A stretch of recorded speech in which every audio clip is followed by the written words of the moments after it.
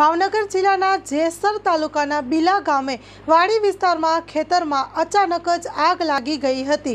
ભાવનગર જિલ્લાના જેસર તાલુકામાં વાડી વિસ્તારમાં આગ લાગી ગઈ હતી, જેમાં બીલા ગામે વાડી વિસ્તારમાં આવેલી મોરધારામાં કોઈ પણ કારણસર આગ લાગી, જેના કારણે તેમાં ઊભેલું ઘાસ બળીને ખાખ થઈ ગયું હતું અને નાના પક્ષીઓને પણ નુકસાન થયું છે.